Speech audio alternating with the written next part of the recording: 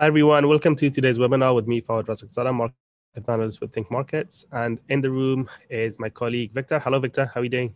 Hello, Fawad. I'm very doing very well. Uh, very keen to speak about the latest development in the markets with you, as usual.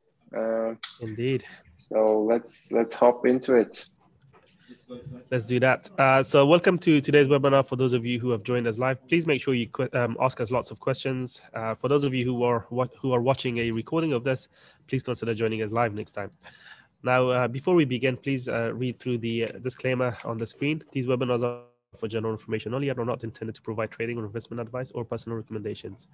Any information relating to past performance of an investment does not necessarily guarantee future performance. Think markets shall not be responsible for any loss that you incur, either directly or indirectly, arising from any investment based on any information in this webinar. Please remember that the spread betting and trading CFDs carry significant risks and may not be suitable for all investors.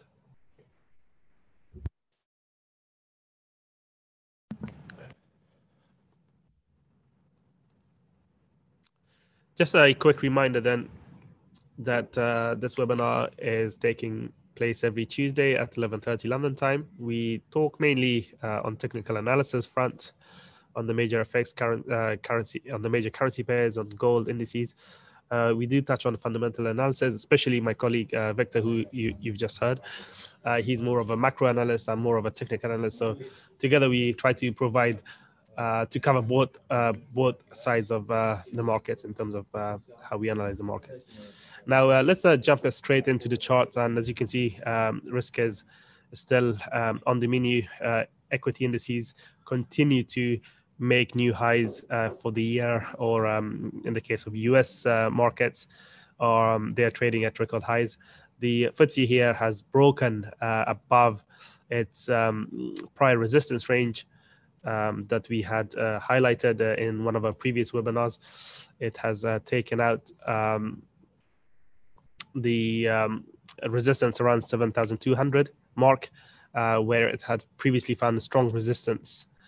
Um, but now it's cleared through that area and it's, uh, uh, you know, built a little bit, bit of a, um, a bull flag kind of continuation pattern here for a few days before uh, breaking above that uh, at the start of this week. And as we, as we speak, it's uh, breaking further out um, into fresh highs for the year. So the FTSE is one to watch. Um, I reckon this has, because it's been consolidating for so long, for six months um, or around six months, it, um, you know, now that that consolidation is resolved, we should be able to see some significant gains. Now, equity markets uh, around the world, if you you know look at um, the major indices in the in the US, uh, this is the uh, Nasdaq 100. It's, it's very close to its all-time highs. The S&P 500 um, has surpassed its previous all-time high, uh, and it's uh, trading at uh, fresh records. Um, in Germany, the German DAX is looking quite strong. Um, and the same picture across the board, really. here, the Spanish IBEX is even gearing up for a big breakout, I think.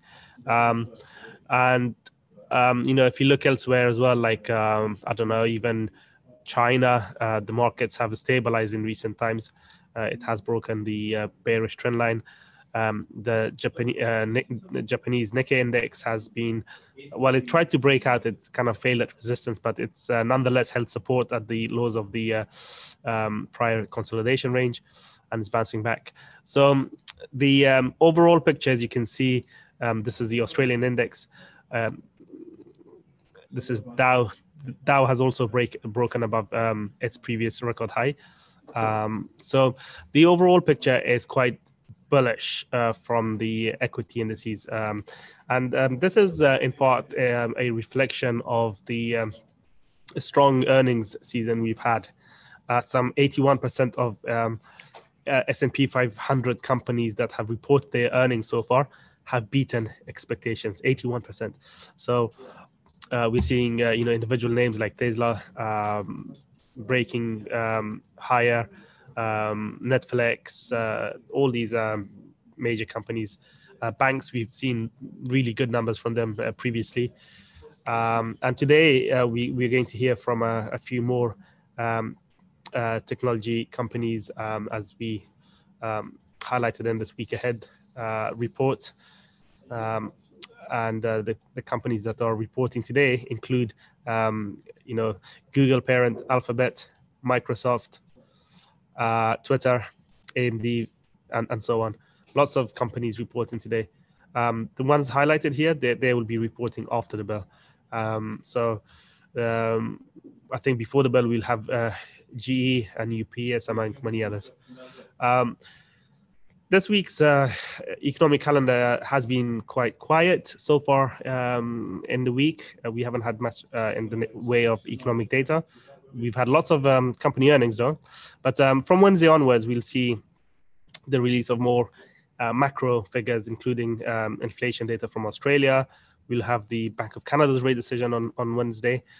Um, the Bank of Canada is expected to cut um, QE by another one billion um, Canadian dollars uh, from the current uh, two billion uh, per week. Okay. Um, on Wednesday, we also have some earnings like eBay, Ford, etc. Thursday, we'll see the um, release of um, US GDP. Uh, that should be really important for the US uh, dollar. Uh, we'll also hear from the Bank of Japan as well as the European Central Bank. I don't think either of these central banks will make any decision on policy especially the um, European Central Bank, uh, because um, their next meeting in December is when they will, um, I think their next week um, meetings in December is, is, when they will update their economic projections. So this uh, meeting uh, on Thursday will be uh, will be kind of a wait and see mode uh, without providing us too much information in the way of um, whether or not the central bank is going to. So it's going to be a little bit uh, benign as an event. Indeed, we shouldn't uh, expect much from it. Okay, yeah. so um, um, yeah, I, I feel the, the, the same way. Uh, the European Central Bank doesn't have uh, much to offer at this point in time, uh, except for continuing its uh, pretty dovish line. Yeah. Uh, we had some news last week, uh, if I'm not mistaken, that uh, one of the most hawkish members oh, yes. Uh, of the ECB, uh, the Bundesbank president, uh, Jens Weidmann, is stepping down. Mm-hmm. And this has been a trend for, for the ECB and for every Bundesbank representative on the board of the ECB. they come in as hawks and sooner or later they don't uh, they, they they can't stand the dovishness of the ECB and they leave. Has been uh, in the past with uh, uh Mr. Weber, uh, Axel Weber, oh, yeah. and uh, now it's the same with his successor Jens Weidmann. And they're both expressing hawkish views. traditionally, are very worried about inflation, uh, but the ECB is uh, comprised of um, representative from all the eurozone member states, and unlike the German economy that can afford higher rates, theirs cannot. Yeah. So the ECB continues to stay pat and continues to stay dovish. So to, to be fair to them, uh, they have been quite right about uh, keeping policy uh, extra loose uh, over the years because uh, inflation really didn't materialize until until this year. Uh, well, previ- right. Sooner yeah. or later, it does materialize. It, it does materialize sooner or later. Um, but had they had they tightened their policy in the previous years, um, and and with the pandemic that caused a significant damage to the global economy you know that wouldn't have looked very good on them. Uh, obviously, no one predicted the uh, pandemic, but uh, the, the the eurozone economy wasn't doing very well before that anyway. So, yeah. Uh, in some ways, they, they kind of had to keep the policy loose, even if uh, Germany was uh, was not very happy about it. Uh, but yeah, I mean, even if Germany is uh, the hottest housing market uh, in the yeah. world uh, by some calculations, it's the most overvalued uh, housing market, and obviously this is uh, playing a, a, a bag a, bad vibe on German politicians because affordability of homes is dropping at a record pace. That's the problem with uh, with having a um, monetary union system uh, being yeah. part of the eurozone. Uh, you'll have different economies within the zone gr- growing at different rates and having different rates of inflation, but because yeah. Uh, they all get treated the same, they can't be uh, uh, adjusting policy because of one member state or a couple of member states. So they have to make a decision on the collective um, members and yeah, that's one of the issues, to be honest, uh, which is uh, one major reason why the UK never joined the eurozone, and uh, is one reason why they left the European Union altogether because yeah. Uh, they wanted independent, which uh, they have got now. Um, so with the ECB being dovish, and we don't expect them to change um, their stance do you reckon we'll see a new all-time high on the German DAX index this week? Oh, I'm not sure about this week, but uh, it, it, appears that we're headed that way. Um, the ECB could certainly provide a provide momentum if they um, issue a statement that is uh, dovish enough. Per- personally, I feel like they're most likely going to uh, signal at some point. Not sure whether it it will be this meeting or next, as you mentioned. Yeah. Um, but um, I feel like they're going to announce uh, some more uh, QE, uh, which will be at a slower pace. Yeah. Because as a, as as things currently stand, um, I think that in February or in March next year, uh, their QE program is expiring.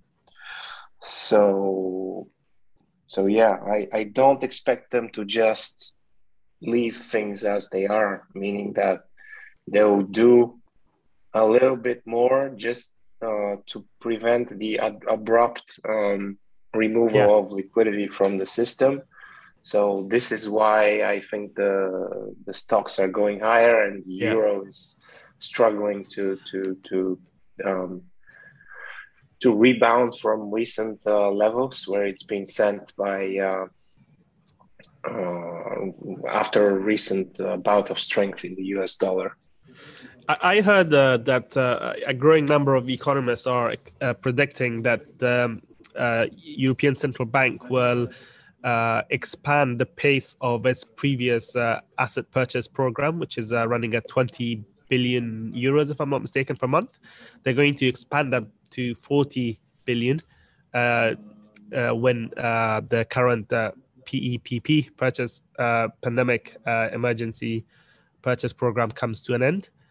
Right. Um, so when that happens in March, I think they're going to boost the size of the uh, the previous uh, asset purchase program to uh, you know double that to to 40, uh, 40 uh, billion euros per month of worth of purchases and then they, they're going mm-hmm. to then taper that slowly just so that they don't um, they don't cause any major issues in terms of the supply of or the circulation of money in the in the eurozone so right. against that backdrop the European Central Bank is going to remain one of the most dovish uh, central banks out there, which should mean, therefore, that the euro as a currency should remain under pressure um, against currencies where the central bank is turning hawkish, for example, the pound. Um, and indeed, that's uh, how the uh, euro pound has been uh, trending, right? Uh, it has yeah. broken uh, down from previous consolidation range, as we had highlighted previously it has hit our first target at 84ish which was the this level right here which, uh, where it previously broke out from. Uh, we think it's going to go a lot lower from here. Uh, 83 yeah. is our immediate target which is where the euro pound has previously bounced from. Uh, in the past in 2017 uh, sorry 2016 2017 and well in end of last uh, 2019 and the start of 2020 so that's a strong or has been a strong support level. Uh, but the way price action is shaping and the and the uh, uh, uh aforementioned uh, macro backdrop, uh, I reckon that uh, over time the euro pound is going to go below 83, uh, possibly head to 80, um, and even more over time. But uh, 80 is my ultimate objective as things stand. So I reckon that's where the euro pound is headed in the coming weeks. Do, do you generally agree with that? Uh, yeah, the, the assessment is correct. Uh, I feel like um, the the coming rate hike from from the Bank of England uh, yeah. is going to support the British pound, and uh, perhaps um, as we um, you know as as we get the as we gather the language from from the BOE uh, on the pace of uh, its tightening cycle. Um, we will see what can happen. Well, there is a risk to that outlook, that's, of that's course. Risk, yeah, yeah. And uh, you're just highlighting it here.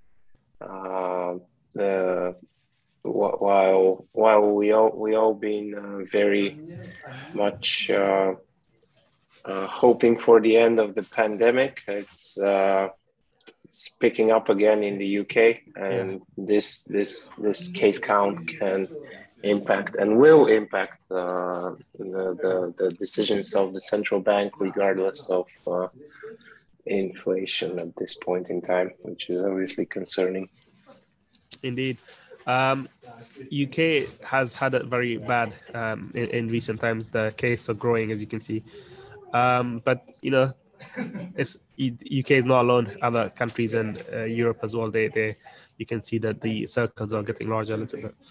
Um, that's a risk uh, facing the, the pound um, that uh, may prevent the Bank of England from being too aggressive in tightening monetary policy. In any case, uh, the, even despite that, I, I think that the Bank of England is more likely to eventually tighten its belt uh, more than the uh, European Central Bank, uh, which should keep uh, the euro pound under pressure in the long term. But uh, in the short term, uh, it looks like traders have decided that it is time to sell this currency cross. Yeah. Because we have broken down. so in the short term, I think the, the path of least resistance clearly to the downside. Uh, resistance is this area I've shaded. Uh, it has been tested a couple of times in the last few days. And uh, so far, price wants to remain below that resistance zone between 84.50 to 84.70-ish. Uh, if we go back above that zone, uh, that should provide a uh, squeeze um, on the shorts, which should see uh, or which could see rates go back to the 200-day moving average or higher uh, before deciding on this next move. But, um, uh, speaking of the euro, let's uh, look at the main uh, currency pair, uh, the euro pound. Previously, we were uh, looking at these two scenarios uh, as rates were climbing to this resistance area.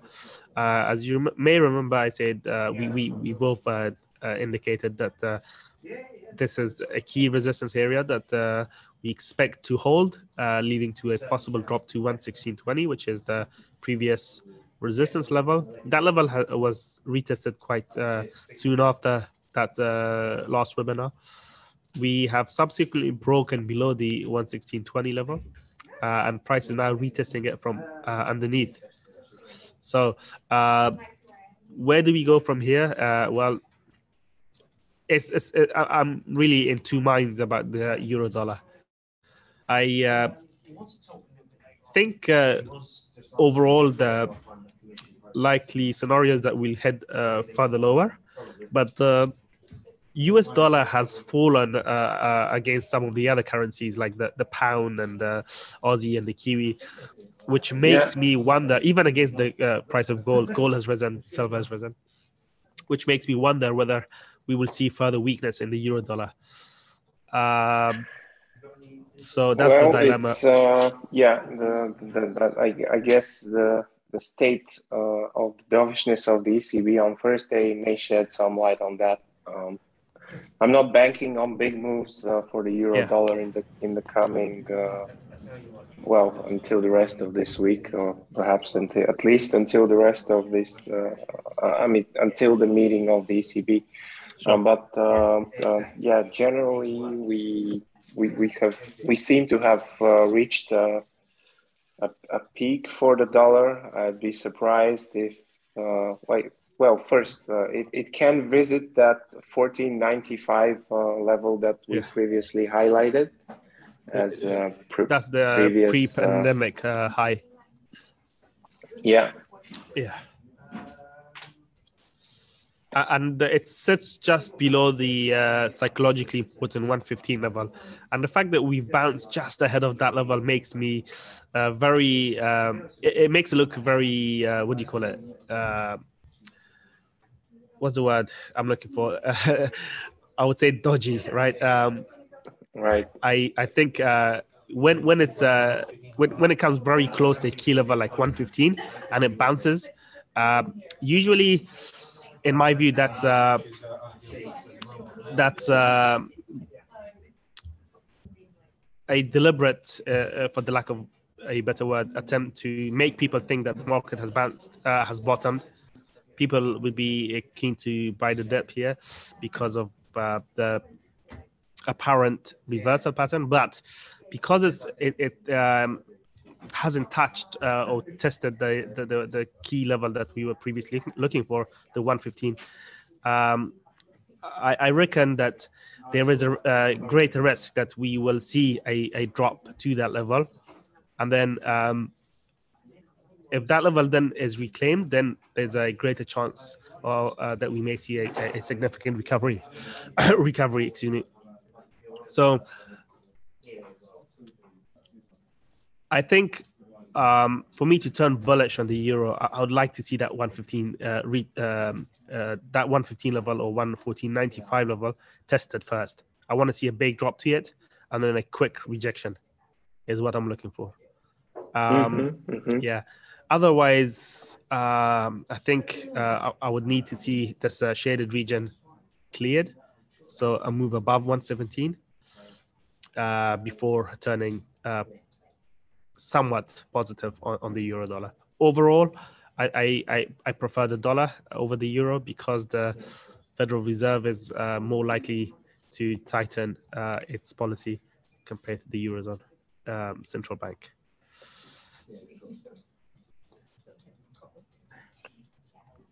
All right. So, uh, shall we move on to some uh, other currency pairs? Sure. Um, so the dollar is.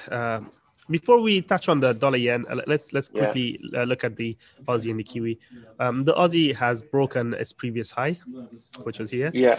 And it's consolidating and it's around consolidating it. around here, which is Let's a positive. What happens? Well, yeah. it's basically uh, contingent on a continuation in the rally across risk assets. Risk assets, yeah, yeah, yeah. yeah there is a bearish trend line coming in above the 200 day moving average. New Zealand dollar has broken higher uh, as we had uh, expected. Uh, it too is consolidating above the previous high, which is a positive sign, right? You want to see a consolidation after breaking a key level like that. Um, the consolidation allows uh, short-term oscillators like the RSI um, to work off its overbought conditions, allowing it to then gear up for another move higher. so I, I, reckon this is bullish price action that we're seeing in the New Zealand dollar daily chart. Uh, the, the, the, New Zealand dollar is also above the 200 day moving average, providing us an objective um, indication uh, of the trend, which is that it's bullish. Um, and uh, the Canadian dollar is uh, looking quite weak still uh, because of the ongoing rally in the crude oil prices and uh, a hawkish uh, central bank. Um, the Bank of Canada is going to taper QE, or that's at least what the market is expecting, by another uh, what is it, 100 billion per month, per week rather, um, and that's going to uh, I think is going to uh, keep the uh, Canadian dollar supported, and we could see uh, the Canadian dollar uh, go a little bit lower from here. Um, overall, um, the Canadian dollar remains one of the strongest currencies out there. So, if you're bearish on the US dollar, I wouldn't necessarily play the. Um, uh, sorry, if, if you're bearish on the US dollar, then the Canadian dollar is the best uh, currency pair, in my view, to express that uh, view on the US dollar.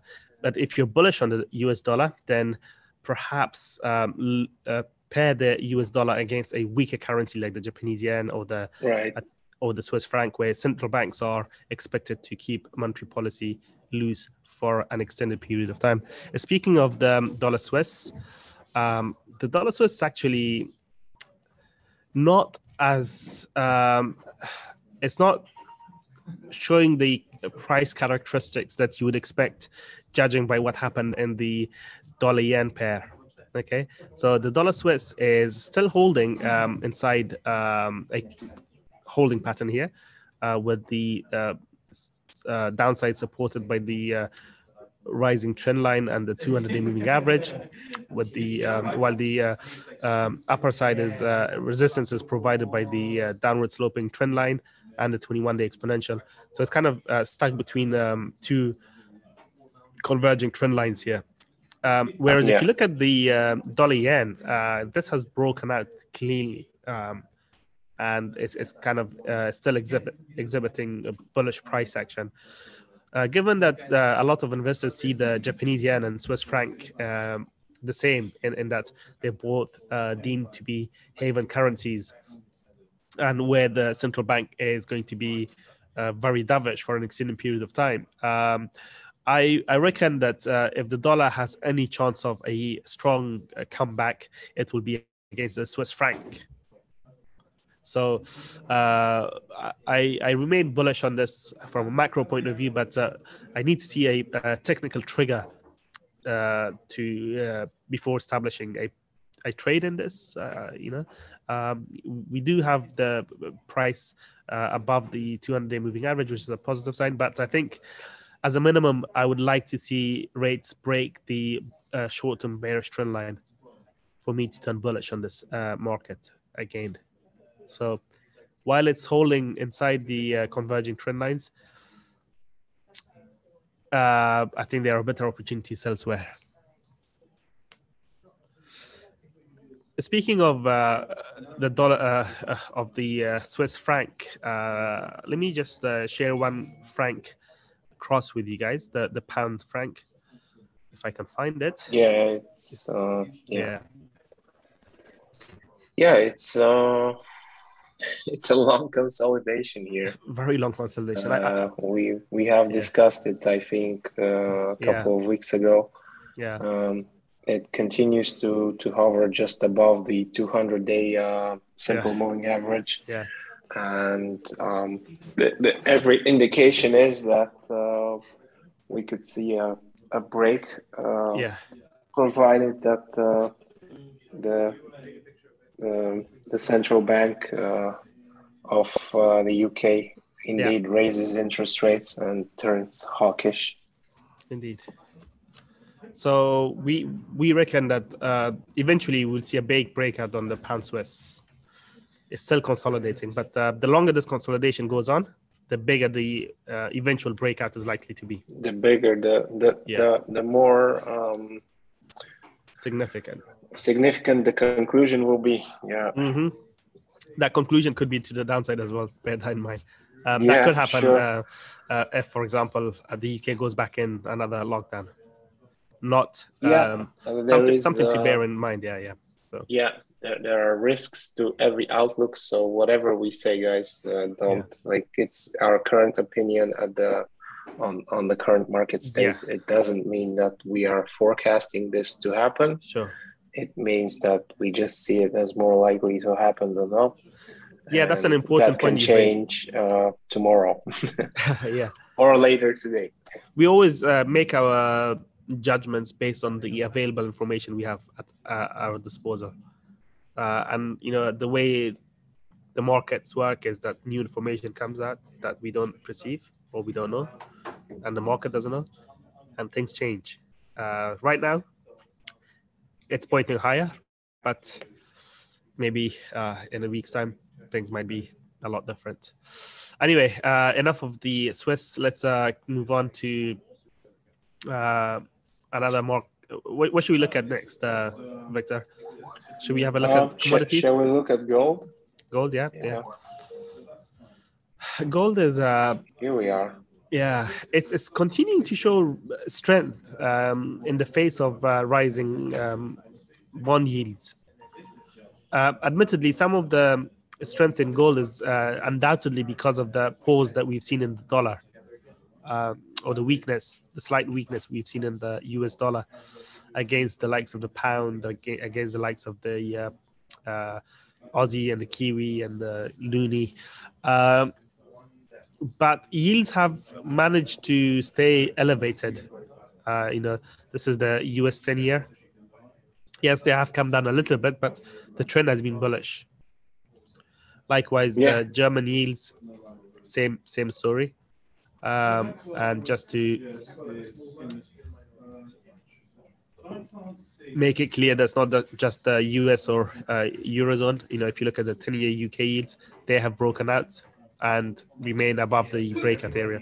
So, against this backdrop, do you think gold is going to be able to sustain its breakout? Well, it's uh, first of all, I, I feel like uh, the uh, 1800 level uh, it, it, has been, you know, important. I, I yeah. feel like uh, at this point in time, with the current um, um, expectations of the market to to for the Fed to deliver tapering, I don't see what surprises are in store for um, for gold to remain where it is. Meaning that I don't see more negative uh, news uh, for gold meaning that the Fed will taper. That, that we all know that. Uh, at this point in time, I I feel like the market has priced it all in. If there are some um, um, people that are going to uh, short gold based on the Fed actually tapering, I, I feel like they're going to get trapped rather than uh, um, you know, time a good entry to go short. Excellent. Yeah, I think uh, you nailed on the head there. Uh, you raised a very, you know, good, uh, uh, very important points, I should say, because uh, usually the markets move based on expectations rather than based on the actual use, and the expectations have been rising that the Fed will taper. that those expectations could be fully priced in by now.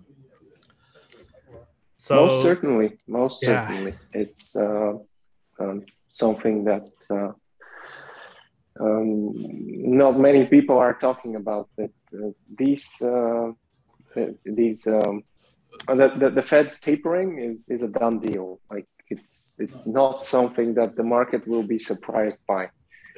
We all know it's uh, coming. It has been communicated very clearly that it's coming. Yeah the pace at which the Fed is going to uh, taper has been communicated well ahead. So what do we have here? Like, why should we? Um, yeah. Why should we buy dollars at this point in time? It's uh, yeah the bigger question. I don't see many reasons to be honest. So.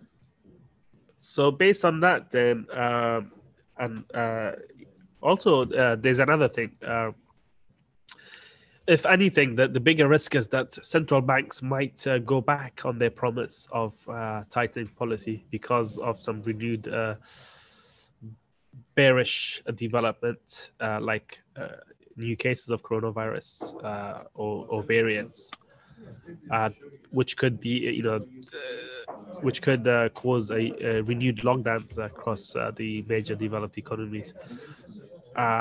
inflation might not be as persistent as it looks like at the moment. Uh, so it's possible that uh, central banks might not tighten their belts as, as fast uh, or as tightly as the markets are currently expecting. And that should provide uh, additional reason for gold and silver to potentially go higher.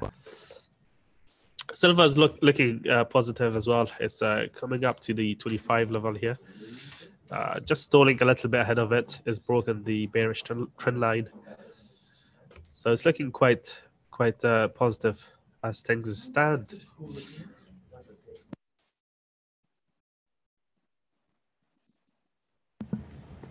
Uh, you, disappeared there for a second. I- I Uh, can you hear me now? yeah. Okay. Uh, crude oil is uh, testing the 2018 high at the uh, Brent uh, Yeah. contract and uh, 85 level, which is a psychologically important level. Let me just get rid of this. Uh, it has spent uh, several days, uh, as you can see by the wicks of the candles where, where it's closed, attempted to break the 161.8 yesterday. Uh, before closing back where it started, well, near where, where it had started the day, is starting to struggle a little bit. Uh, we haven't seen a clean uh, reversal sign yet, but I reckon that uh, we will see a reversal somewhere around these levels soon because of several reasons. Uh, among them, Iran and the European Union uh, are expected to hold talks uh, on Wednesday uh, designed to kind of clear the way for a wider diplomatic push to revive that 2015 uh, nuclear deal. Do you feel uh, like uh, there is a willingness on part of the U.S. to to reinstate it? At the moment, I don't think there is, but uh, they could come back to the table under the Biden's uh, administration. Uh, you know, I, I, to be honest, I, I, I really am, am not sure, but uh, Mhm. that that's one reason that traders might feel that uh, is a risk that they uh, that the uh, crude oil market is facing uh, of you know additional uh, barrels of oil, millions of barrels of oil uh, coming back from Iran into the market, raising supply. That's a key risk. Uh, Well, it certainly is um, uh, from the standpoint of from the political standpoint of Europe. It uh, it makes sense to try to to to revive this deal Yeah. as uh, current uh, energy prices uh, across Europe are still way elevated. Uh, Yeah. Forget oil, natural gas is still pushing higher, and um, there is no no relief in in sight really yeah, uh, at least until the end of the heating gas. season that that is just beginning yeah. So it, the, the pressure is really uh, uh, growing on on uh, uh, European Union to do something about uh, surging ga- gas prices and electricity prices here. Uh, Russia is uh, w- willing to help if uh, the European Union uh, or, or Germany approves its new approves it. pipeline Yeah, new pipeline. well uh, uh, yeah another another controversial point and uh, another yeah, um, really challenging um, um, issue for for politicians to solve yeah. Um, so that's that. Uh, let's look at uh, cryptos very briefly. Bitcoin broke to a new record high uh, previously, bro- uh, broke above this uh, record high. Uh, it couldn't Yeah. hold there, dropped back to the 60,000 level, and it bounced, creating a nice hammer there from which it has uh, kind of provided the platform for a breakout uh, that we saw yesterday. Today, prices are testing resistance uh, around the current levels, which uh, was previously support, turned into resistance here, and resistance yesterday. Let's see if it will break through this resistance and we push on from there to, towards 70. Um, we have a webinar coming up, uh, haven't we, uh, Victor? That we will discuss. Oh yes, we do. Um, Yeah. we, we will discuss. Well, we'll discuss the launch of uh, Bitcoin's ETF and other ETFs on the ThinkMarkets uh, trading platform. Um, you will get uh, uh, uh, an email uh, Yeah. later today uh, when we officially announce it. Um, Yeah. but uh, yeah, it will be this Friday actually. Okay. So uh, we look forward to speaking more about Bitcoin and uh, cryptos then. uh, for now, I don't see any questions from you guys, so we're happy to end the webinar. Thank you so much for joining us, and uh, please make sure to join us on Friday. Thank you. Take care. Bye bye. See you soon. Bye bye.